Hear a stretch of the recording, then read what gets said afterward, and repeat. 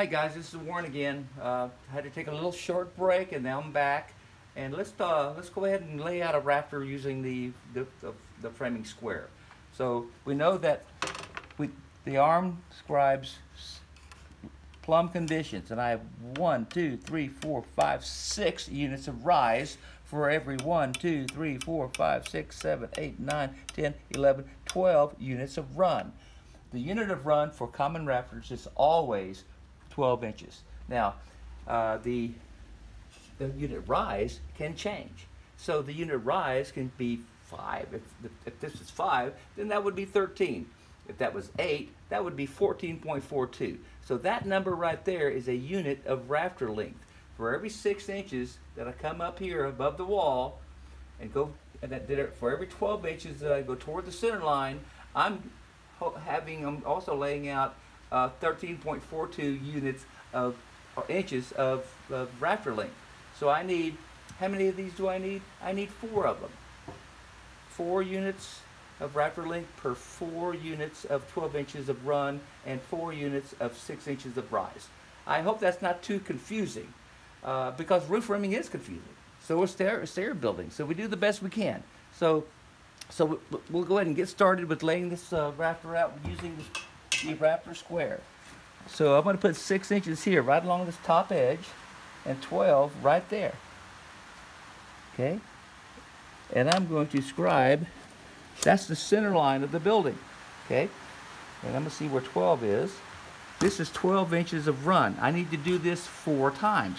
So I slide my, I slide my square down, and I hold the same dimension.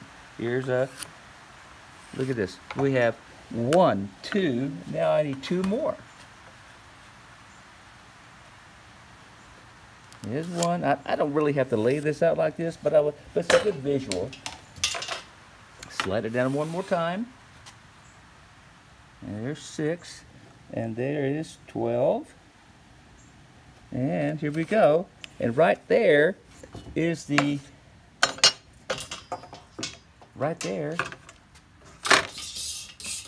is the end of the rafter. And 12. 6 and 12. Okay, so this right here, I'm going to measure back up an inch and a half and then hold 612 and come right through that mark and there is my bird's mouth.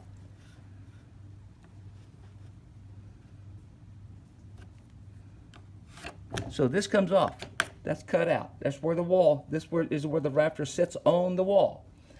Now, I have eight inches, I have eight inches of overhang. I have eight inches of overhang. And so now I need to hold 612 and mark eight inches right there. Now I'm going to have to use my speed square for this because I don't have enough room at the end of the rafter tail. So I just scribe a 6, 12. These are the common cuts right here. And I put that on 6 right there and come right through that mark for the overhang. This is overhang. And this is where my, where my sub fascia board would be. Right there at the, at the end of that overhang, end of, end of that rafter. Now let's go back up to the top.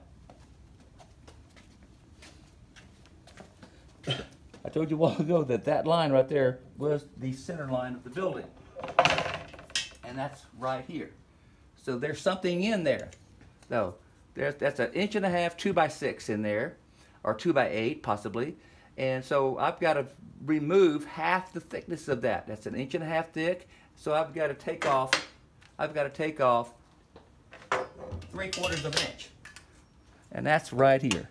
And it's got to be in a, in a square condition.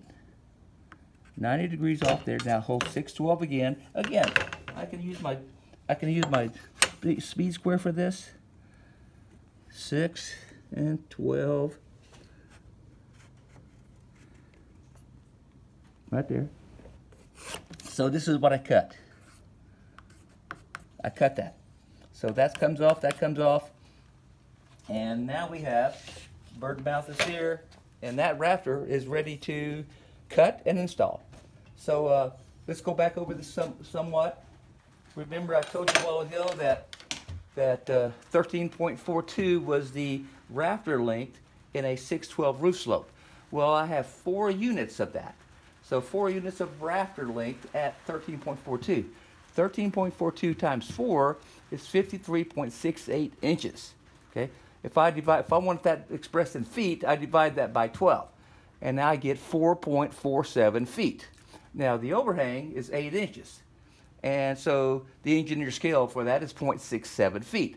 So I added that. Now I have 5.14 feet. Ah, kind of confusing in it sometimes. So now I have my total rafter length.